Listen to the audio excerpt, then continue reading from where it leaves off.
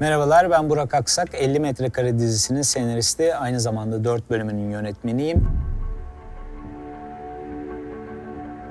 Bugün birkaç sahneyi konuşmak istiyorum sizinle. 8. bölümde yani final bölümünde Yakup ve Civan'ın yüzleşme sahnesi var ve Yiğit'in tokat atacağını Özgür'e söylemedik. Aniden Yiğit girdi ve gerçekten Allah ne verdiyse yapıştırdı çocuğa. Ne oluyor lan? Ee, fakat çok Neler iyi bir var? sahne oldu ve tek seferde bu sahneyi çekebildik. Yine final bölümünde Civan Sen karakterinin babasını yani Turan'ı öldürdüğü bir sahne var. Ve babalar oğullarına yalan söylemez.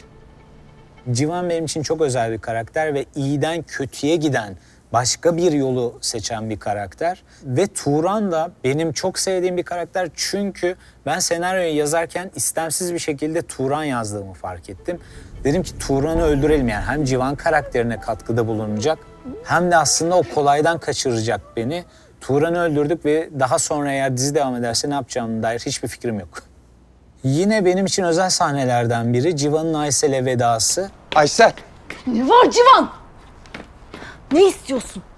17 yıllık bir ilişki var mahallede. Birbirlerinin çocukluk aşkılar ve Aysel başka biriyle beraber olmaya başlıyor. Civan bunu öğrenir ve Aysel'e veda etmek ister. Bunun için de eski takım arkadaşlarıyla beraber Aysel'in kapısında bir tezahüratla veda sahnesi yazdım. Fakat ortada öyle bir tezahürat yok. Bunu ben yazamadım. Bunun için tribünden çocuklar çağırdık. Bir noktada artık çocuklar için yani biz deplasman otobüslerinde yazıyorduk genelde böyle şeyleri dediler ve biz çocuklar için deplasman otobüsü aramaya falan başlamıştık. İkinci bölümde Gölge Muhtar'ın evine gelir ve orada hani hem bir yemeğe davetlidir hem de orada kalacaktır. Bu sahneyi daha çekmeden kafamızda şey vardı yani bu sahne zor bir sahne olacak bizim için.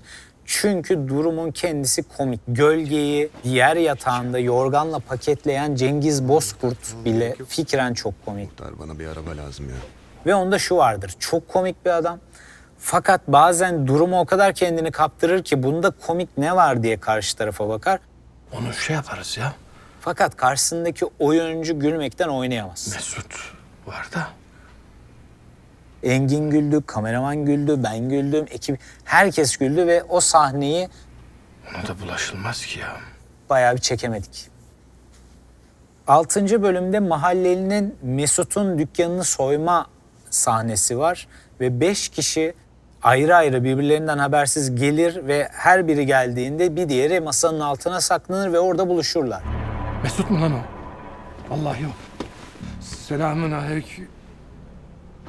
En büyük derdimiz bu sahneyi nasıl çekeceğiz? Çünkü Mesut'un dükkanı bir konteyner, bir masamız var ve çok küçük bir masa. Altına o beşliği nasıl sığdıracağız? Şöyle bir çözüm bulduk en son. Konteyneri deldik ve kameralarla biz ekip herkes dışarıda içeride sadece oyuncular var ve biraz da masada hileler yaparak o masanın altına o beşliği sıkıştırabildik ama çok güzel de bir sahne oldu.